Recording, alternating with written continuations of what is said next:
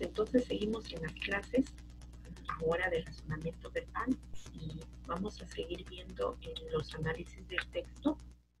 Vamos a ver en este caso la intencionalidad del texto.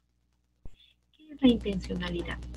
Es la intención que tiene el texto, con qué intención produjo el escritor el texto, libro u otro. Encontramos que se dividen en dos. Motivación, ¿por qué? El propósito, ¿para qué? La motivación, escribir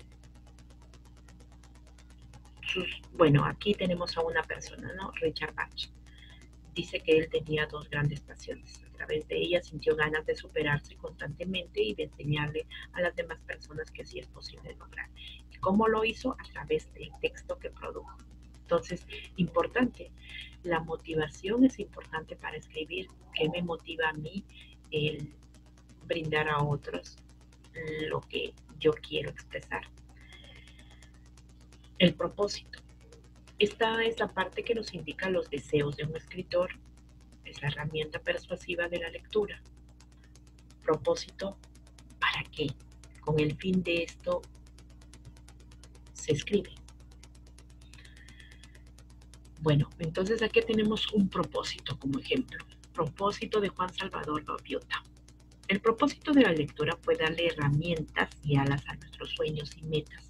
De este modo, poder comprender que la vida está llena de obstáculos, caídas, como metodología de aprendizaje, que las cosas grandes requieran de esfuerzo, que el que quiere ser cada día mejor no va a tener límites, que día a día aprendemos algo nuevo y que ese algo siempre será útil nos muestra que a pesar de las cosas se pongan duras, nunca estamos solos y que personas que buscan la perfección no abundan, pero sí existen y que nuestro entorno está lleno de praxis, solo que las vemos como el ogro, mm, por no querer mirar más allá de la nariz.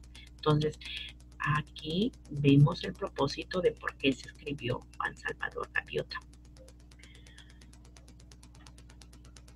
Otra vez, la intencionalidad.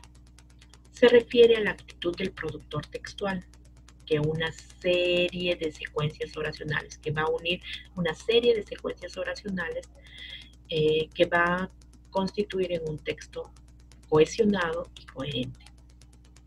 Es consecuencia del cumplimiento de las intenciones del productor, es decir, yo voy a planificar eh, para qué público, qué cosa quiero eh, decir a las personas y para esto voy a utilizar una mi texto que debe ser cohesionado y debe ser coherente. Esto hemos visto en clases anteriores eh, lo que significa la cohesión y la coherencia. El emisor quiere alcanzar una meta específica dentro, dentro de un plan. La intencionalidad corresponde al emisor y afecta a las otras dos normas, que es la cohesión y la coherencia si no aplico bien estos dos términos, no va, no va a ser bueno lo que voy a producir. El esquema de la estructura del texto.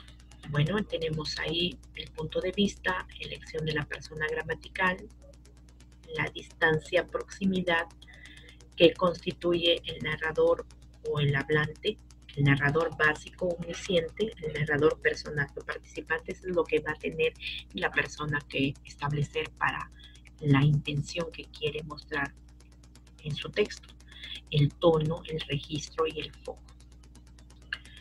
Sigamos viendo. Otra de las características que podemos ver en un texto es el tono. Revela la actitud del redactor hacia el asunto o tema tratado y ante el receptor del comunicado debe estar acorde con el propósito y la finalidad del texto. Elegir el tono apropiado le impartirá credibilidad y efectividad al discurso literario, marcado por los modificadores nucleares, adjetivos y adverbios. La actitud del escritor se revela, se revela en el tono que utiliza. El tono puede ser positivo, puede ser negativo, según lo que el texto quiere emitir. Puede ser formal, un texto formal, puede ser informal, puede ser algo festivo, algo humorístico, algún lóbrego. Lóbrego es oscuro, triste, irónico, sarcástico, reverente, irreverente, entusiasta, curioso, sereno. Estos son todos los tonos que yo puedo utilizar para hacer mi texto. Tengo que pensar en todo esto. El tono de un texto se refiere entonces al aspecto emocional en que está el autor al emitir el mensaje. En estos casos no es tan importante qué se dice, sino cómo se dice. A partir de ahí hay que descubrir el estado emocional del emisor del mensaje. Bueno, chicos, entonces ahora nos vamos a ir al libro de razonamiento verbal y vamos a descubrir eh, la intencionalidad y el tono que utilizaron los creadores de los textos de ese, del libro. Muy bien, vamos a resolver esto y nos vemos en la siguiente clase.